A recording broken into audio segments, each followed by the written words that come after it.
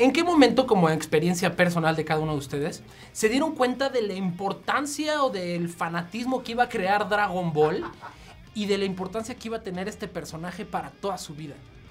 Pues cuando empezamos a ir a las convenciones, cuando eh, eran convenciones primero muy chiquitas y nos invitaban a, ¿no? Entonces fue creciendo y creciendo y creciendo y un día de pronto te estás en Santiago de Chile con 3.500 personas y dices, wow, esto, esto no es cualquier cosa. No, no, no.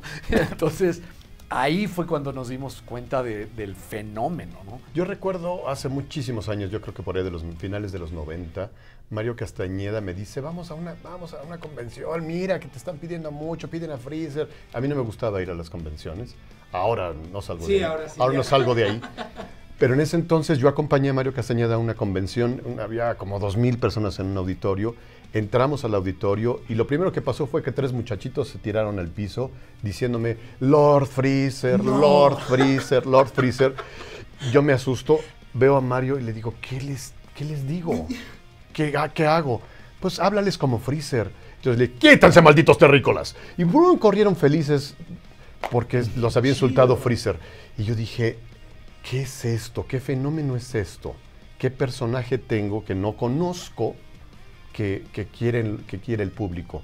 Nos tuvieron que sacar por la parte de atrás con policías porque la gente se nos iba encima para el autógrafo. Y dices, "Es- eso es impresionante. Para un actor de doblaje que vive en, la, en el total anonimato, en una salita de doblaje de dos por dos con una pantallita, ahí en la, en la oscuridad, salir a la luz y cuando sales a la luz se te van encima dos mil personas es muy complicado. creo que a la par somos hijos de las redes sociales.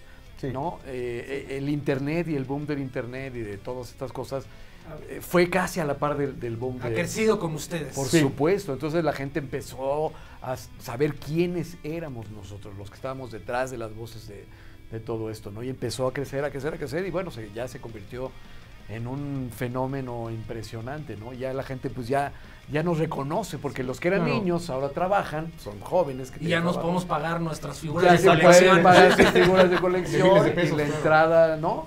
Y entonces ya nos empiezan a reconocer y dicen, ah, eh, eh, Goku, Vegeta, porque no nos dicen Sí, ya nuestros no, nombres. ya no, sí, Ya, ya no, ustedes- Ya no. Don Goku. Mario Don- no Don existe. No, ya no, él ya tampoco, Ricardo ya no. Ricardo, ya a partir de este momento Broly. ya va a ser el señor Broly. Exacto. Ricardo Broly.